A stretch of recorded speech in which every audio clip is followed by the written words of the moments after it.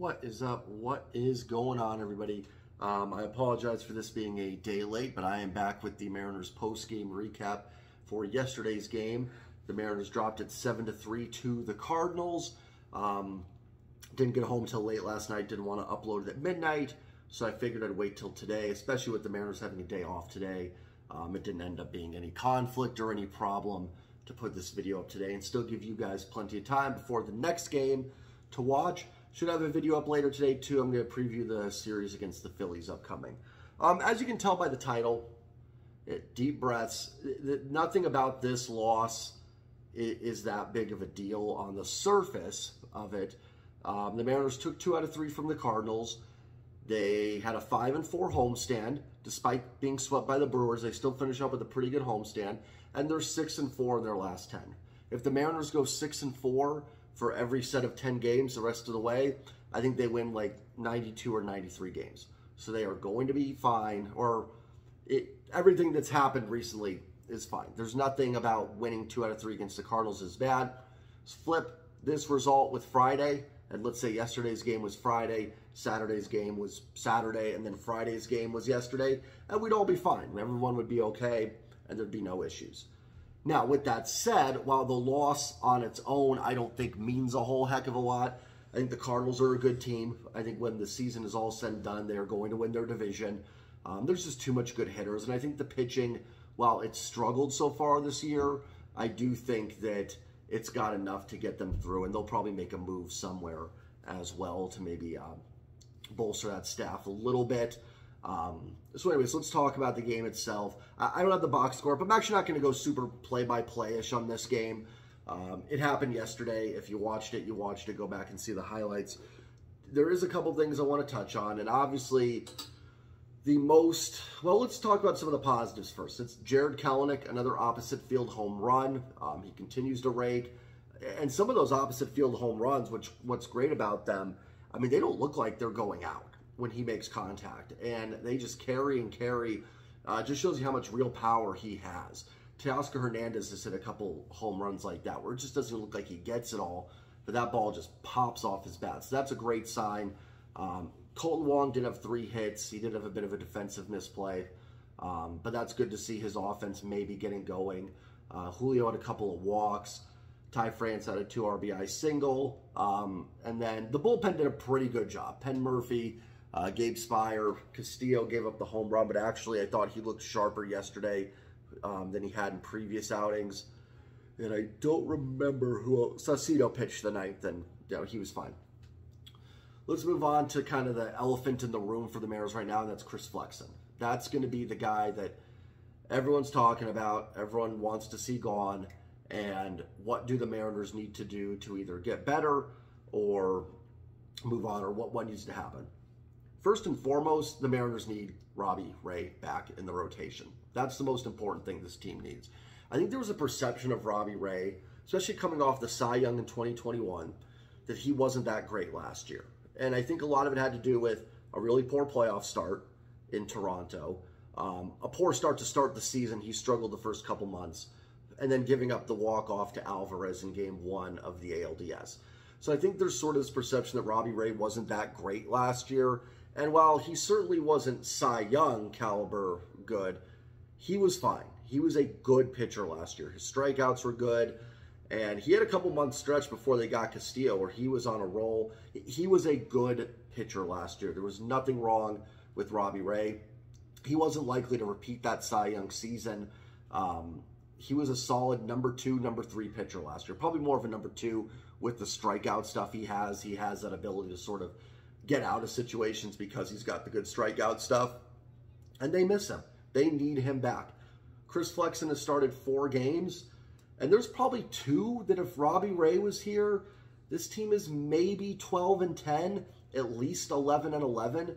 I think the Cubs game, I'm pretty certain Robbie Ray gets them through five innings in that one. And yesterday, now they were up three to two. The Mariners like they were up nine nothing and the Cardinals just charged back. They had a small lead. Robbie Ray may have given that up, but maybe it's four to three, and the offense is able to battle back and get in this game. Um, so yeah, this team misses Robbie Ray. That's one of the simplest solutions here. They need to get him back. I don't know with Robbie Ray how long it's going to be. Um, elbow injuries are always concerning and stuff like that because you think Tommy John, and now it looks like they've avoided that. But, you know, obviously it's at least a month. We know that. That would put it into early May. And he's going to have to make some rehab starts, at least two or three, just to sort of get the arm strength back up, especially since, you know, he hadn't pitched a lot this season, just coming out of spring training. So they're going to need, you're probably looking at mid to late May before Robbie Ray is back in the rotation.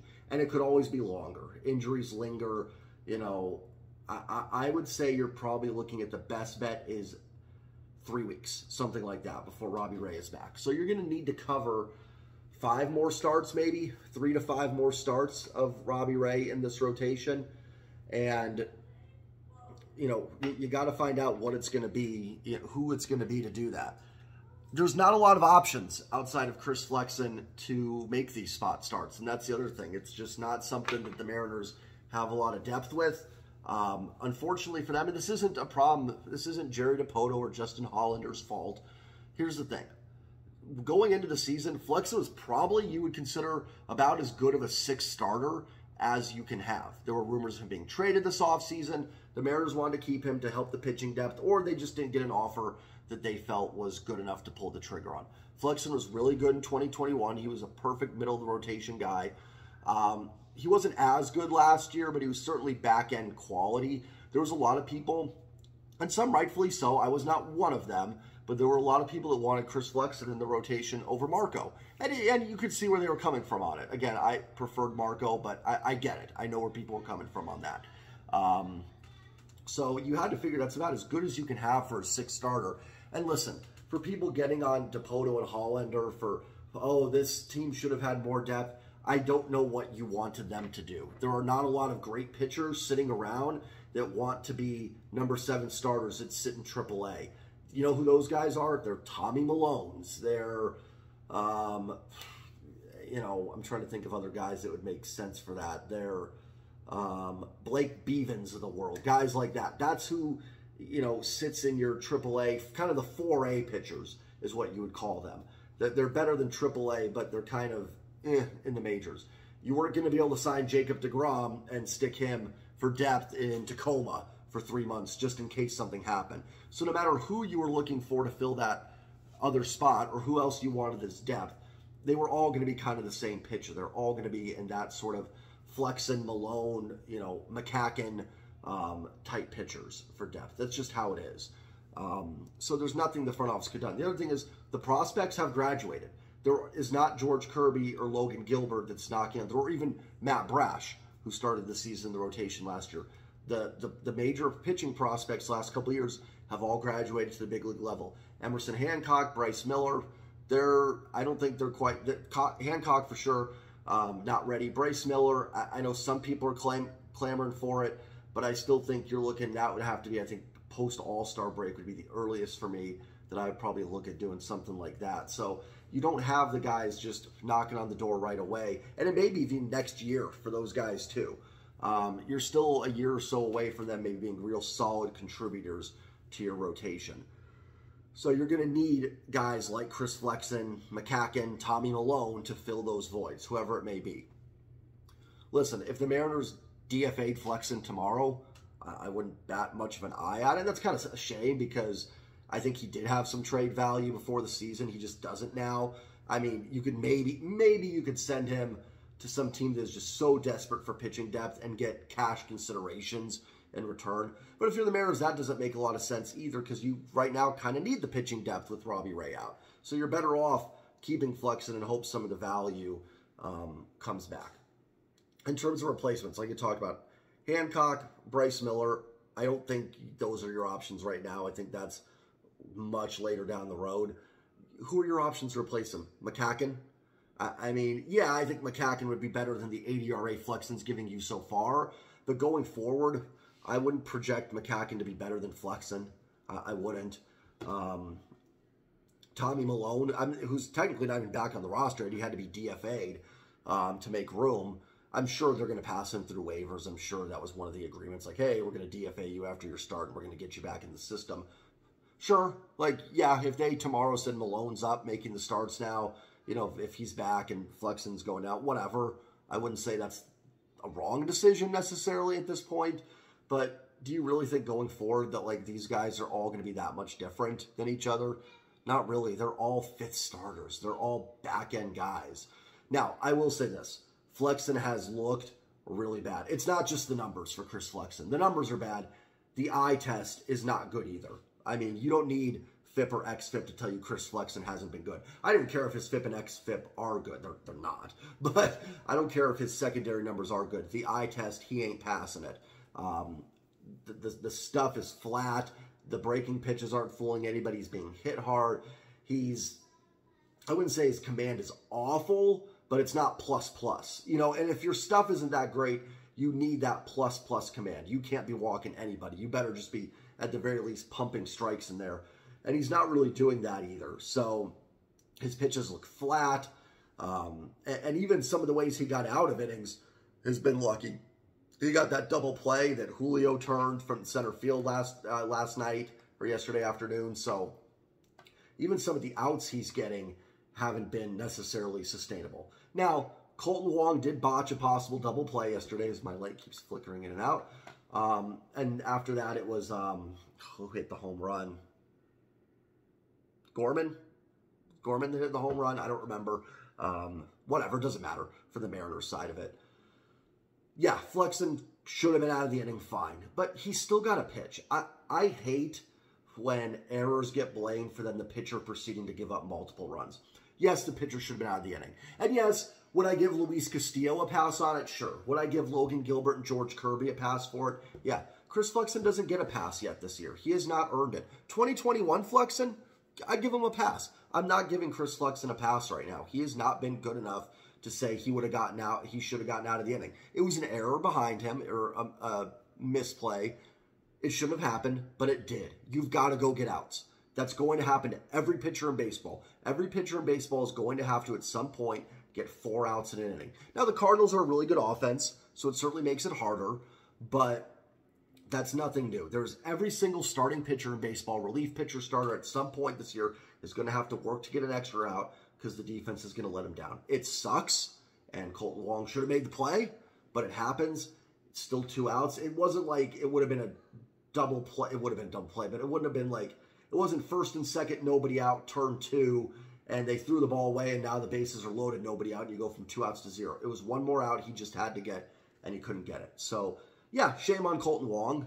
It, it can be both their faults, but Chris Flexen, as I dropped something there, Chris Flexen gave up the runs. A- end of story. So he deserves blame for it as well. Now, in, in Flexen's defense, he started four games.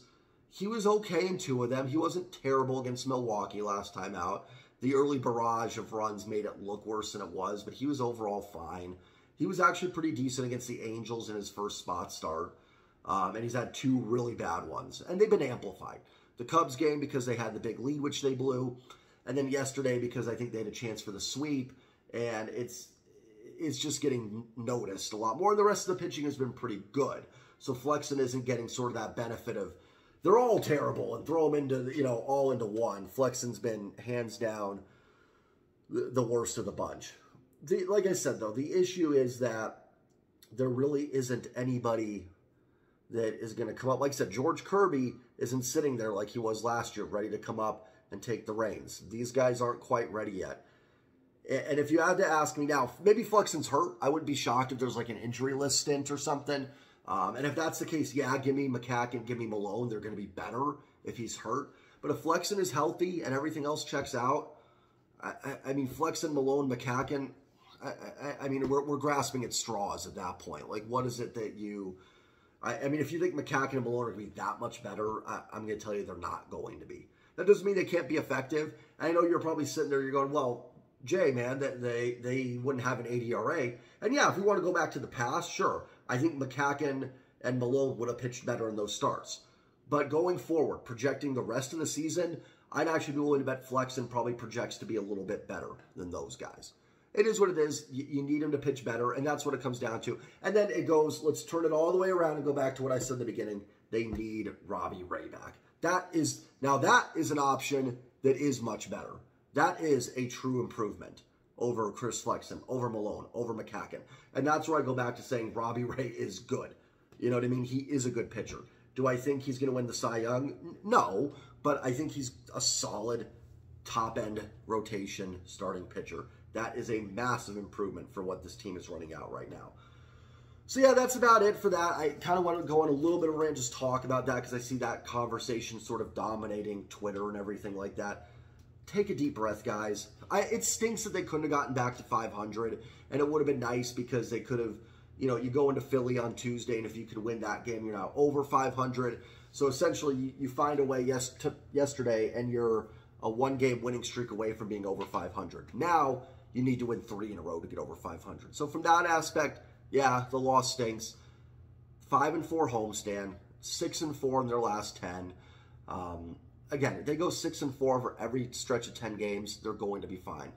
This team was two and five. They are eight and seven since then. They've actually been playing pretty decent ball. Now those seven games count. Again, I'm not dismissing it, but they are playing better baseball. The Cardinals are a good team. Don't let the record fool you. And the pitching staff has some questions. They, they've got some question marks there but that's a good baseball team. It was going to be really hard to sweep them. Yeah, it would have been nice to get one against the Brewers. I don't doubt that. Um, I don't deny that. Sorry, but it is what it is. It was a good, pretty good homestand um, and a good series for the Mariners to get two out of three. So take a deep breath. They're playing better ball. They are. It's just that two and five start that's kind of sticking out. Now they have a tough road trip here. I don't know all of it order. I know they got Philly, Toronto, Houston, and Oakland? No, that can't be a four. Is it a four city road trip? I think it's a three city. I think it's. I, I, don't know, but that's you know what? That's not the road trip. That's their next games. Excuse me, and Texas in there too. That's not just the road trip, but you got Philly, who is kind of been similar to the Mariners so far this year. Like a little bit of a slow start, but playing better. Toronto's a good team. We know Houston. Um, Texas is off to a great start. Oakland's bad, but you know you never know. So the Mariners have some work to do here. If they can come out of that stretch at 500, I will sign up for it. So you can hold me to that. If I say something after this stretch of games, I'm like, oh, they shouldn't have this. I will be more than happy if they exit that stretch of games at 500. That is totally fine. So yeah, that, that's all I've got. We'll see if any roster moves happen today with the day off. Wouldn't shock me if Taylor Trammell is back here soon. Um, he's heating up and swinging a good bat in AAA. I can see Tommy La Stella going away and Taylor Trammell coming up. Um, in terms of Flexen, the only thing I could see is maybe like some injury thing that they find and put him on the IL. But again, McCack and Milone, they need Robbie Ray back. That's the key for this team. Thank you all for watching. Hit the like button, hit the sub button. I'll be back later today with a series preview for the Mariners and the Fighting Phils. Um, so let me know what you guys think. Let me know what your thoughts are on the rotation. I will see you guys next time. And as always, go Mariners. Peace.